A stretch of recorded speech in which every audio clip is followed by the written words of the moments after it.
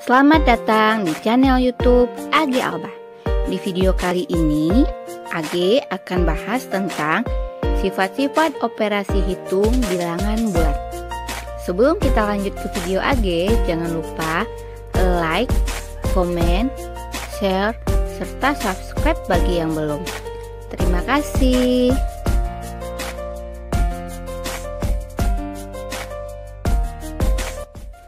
Sifat-sifat operasi hitung bilangan bulat.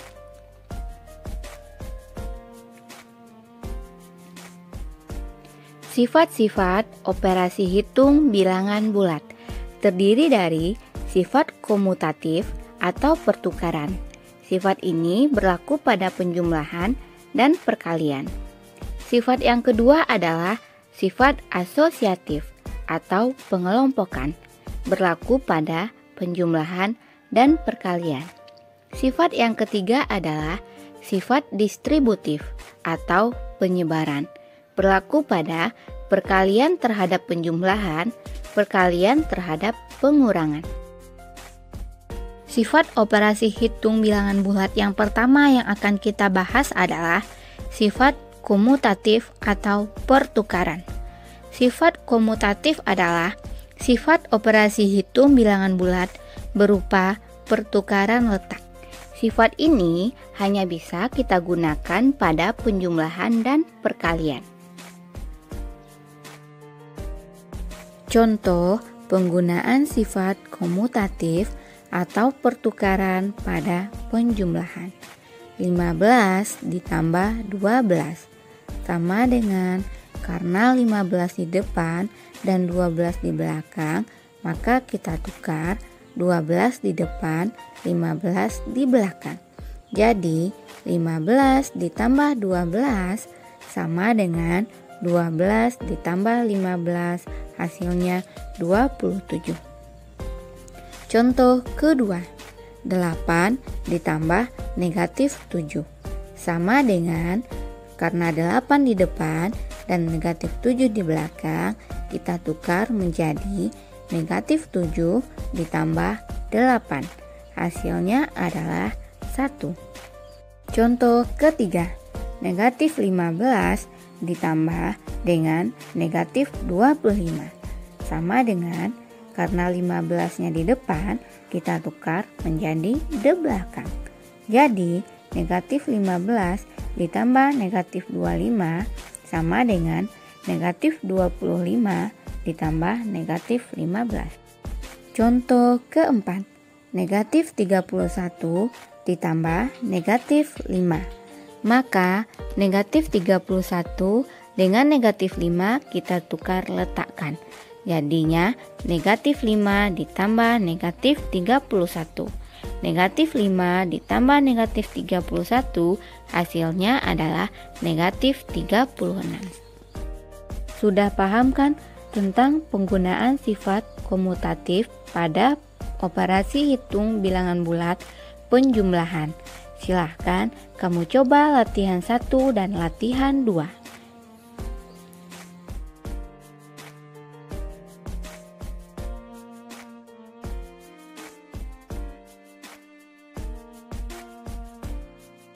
Sudah selesai latihan 1 dan 2-nya.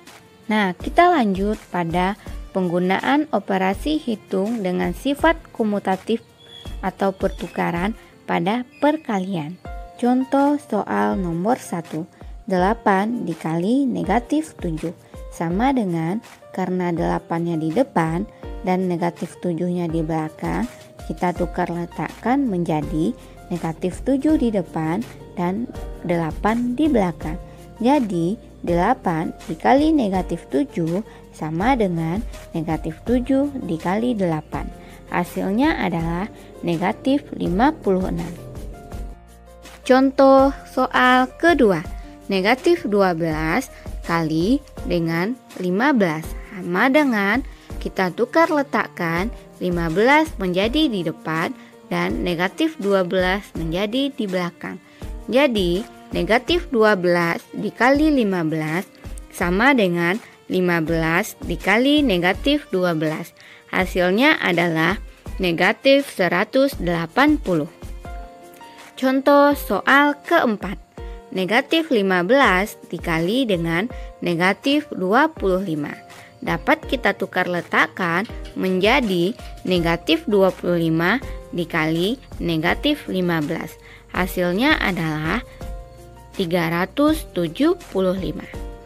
Contoh soal keempat. Negatif 31 dikali dengan negatif 15 sama dengan negatif 5 dikali dengan negatif 31. Hasilnya adalah 155. Sudah paham kan tentang penggunaan sifat komutatif pada operasi hitung perkalian? Silahkan kalian coba latihan 1 dan latihan 2. Jika kamu sudah selesai mengerjakan latihan soal, penggunaan sifat komutatif pada penjumlahan dan perkalian, silahkan kamu cek hasil kerjamu dengan kunci jawaban sebagai berikut.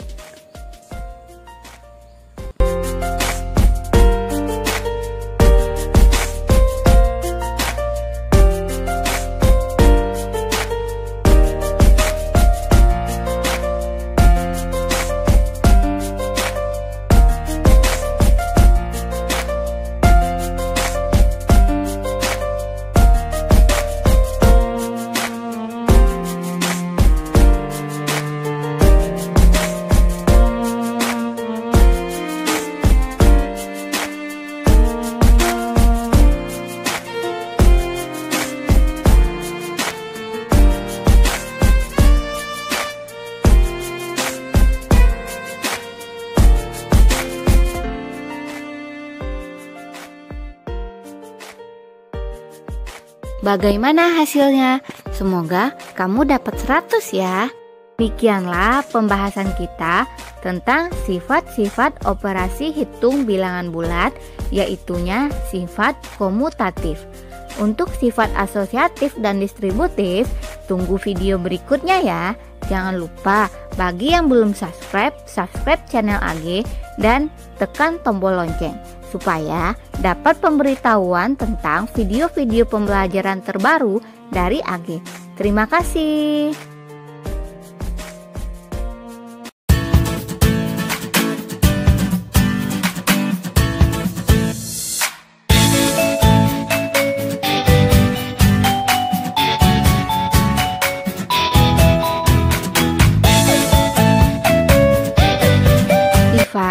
Asosiatif pada operasi hitung bilangan bulat. Sifat asosiatif adalah sifat operasi hitung terhadap tiga bilangan menggunakan bantuan pengelompokan dua bilangan dengan tanda kurung. Dan apabila pengelompokan itu ditukarkan, maka hasilnya akan tetap sama. Sifat asosiatif hanya dapat kita gunakan pada operasi hitung bilangan bulat, yaitunya penjumlahan dan operasi hitung perkalian. Penggunaan sifat asosiatif atau pengelompokan pada operasi hitung penjumlahan bilangan bulat. Contohnya, Lani dan Siti akan menjumlahkan buah-buahan dengan jumlah yang sama. Namun, kedua orang ini menjumlahkan dengan cara berbeda. Buah yang dijumlahkan adalah 4 buah apel ditambah 3 buah pisang ditambah 5 buah mangga. Nah, bagaimana cara penjumlahannya? Mari kita lihat video berikut. Lani melakukan penjumlahan buah-buahan tersebut dengan cara mengelompokkan buah apel dengan buah pisang, baru ditambahkan dengan buah mangga. Sedangkan Siti menjumlahkan buah-buah tersebut dengan mengelompokkan buah pisang dengan buah mangga, baru ditambahkan dengan buah apel. Bagaimanakah hasil penjumlahan kedua orang ini? Apakah hasilnya akan sama? Mari kita lanjutkan dengan video berikut ini. Lani menjumlahkan 4 buah apel ditambah 3 buah pisang ditambah 5 buah mangga. Terlebih dahulu, dia mengelompokkan buah apel dengan buah pisang, yaitu 4 ditambah 3. Kemudian baru menambahkan dengan 5 buah mangga. 4 ditambah 3 hasilnya adalah 7. 7 ditambah 5 hasilnya adalah 12.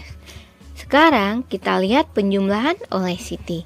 Siti menjumlahkan 4 buah apel ditambah 3 buah pisang ditambah 5 buah mangga. Siti mengelompokkan buah pisang dengan buah mangga. Jadinya 4 ditambah 3 tambah 5. 3 ditambah 5 hasilnya adalah 8. Jadi 4 ditambah 8 hasilnya adalah 12. Penjumlahan yang dilakukan dengan bilangan yang sama oleh Siti dan Lani, walaupun caranya berbeda, pengelompokannya berbeda, hasilnya tetap sama. Nah, cara mereka berdua ini dikenal dengan sifat asosiatif pada penjumlahan.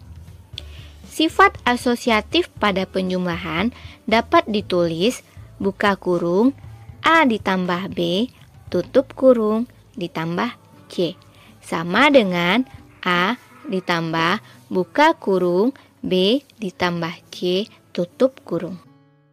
Supaya lebih paham, maka perhatikanlah contoh soal penggunaan sifat asosiatif pada penjumlahan bilangan bulat berikut ini.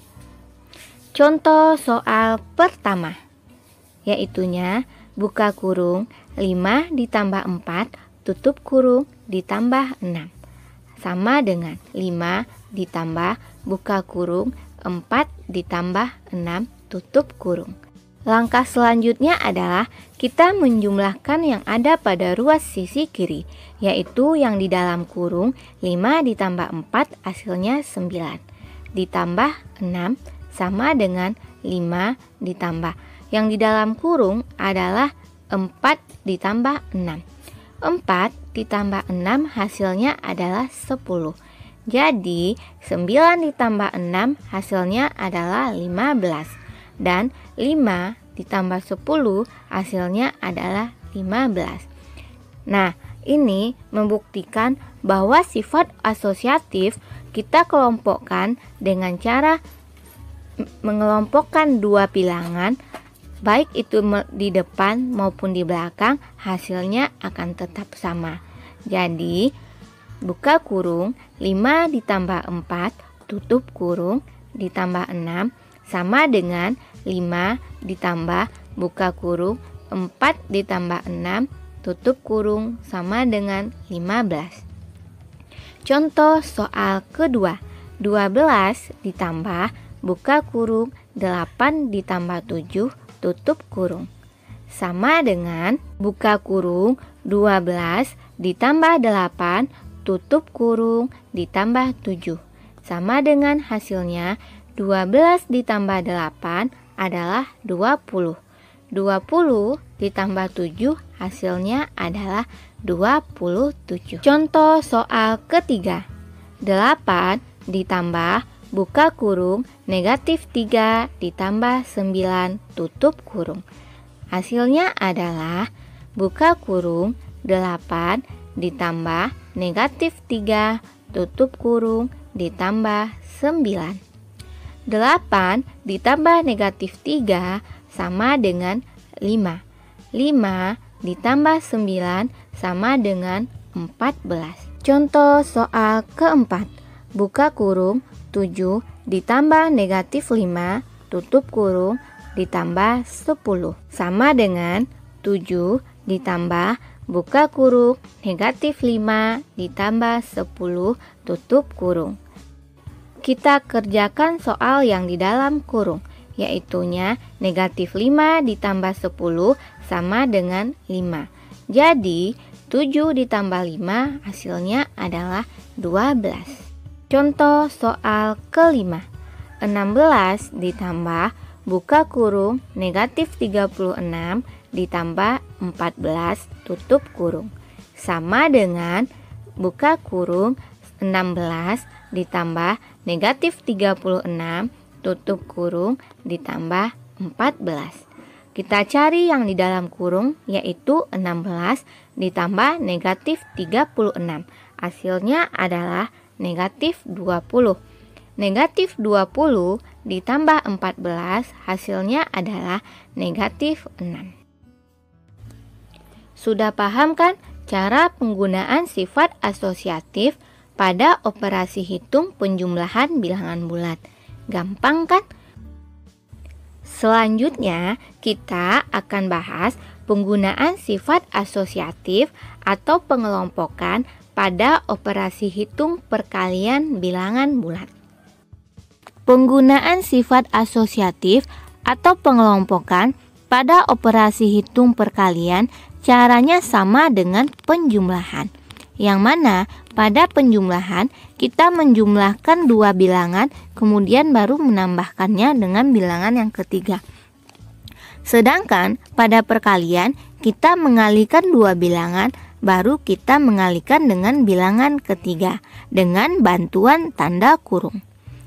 Sifat asosiatif pada perkalian dapat ditulis buka kurung A dikali B tutup kurung dikali C sama dengan A dikali buka kurung B dikali C tutup kurung.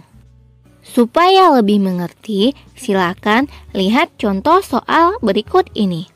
Contoh soal pertama.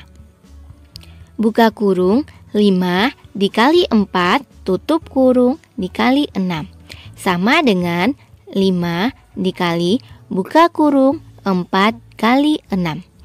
Nah, kita cari dulu yang di dalam kurung yaitu 4 dikali 6. 4 dikali 6 adalah 24. Jadi, 5 dikali 24 adalah 120. Contoh soal kedua.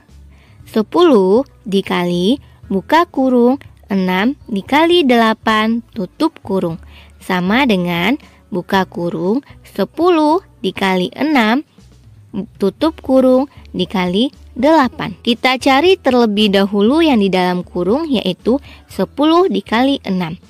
10 dikali 6 adalah 60. 60 kita kalikan dengan 8 hasilnya adalah 480. Contoh soal ketiga 6 dikali buka kurung 5 dikali negatif 8 tutup kurung Hasilnya adalah buka kurung 6 dikali 5 tutup kurung dikali negatif 8. Kita cari terlebih dahulu yang di dalam kurung yaitu 6 kali 5. 6 dikali 5 adalah 30. 30 dikali negatif 8 hasilnya adalah negatif 240. Demikianlah pembahasan kita tentang penggunaan sifat operasi hitung asosiatif pada penjumlahan dan perkalian. Semoga kalian lebih mengerti tentang penggunaannya.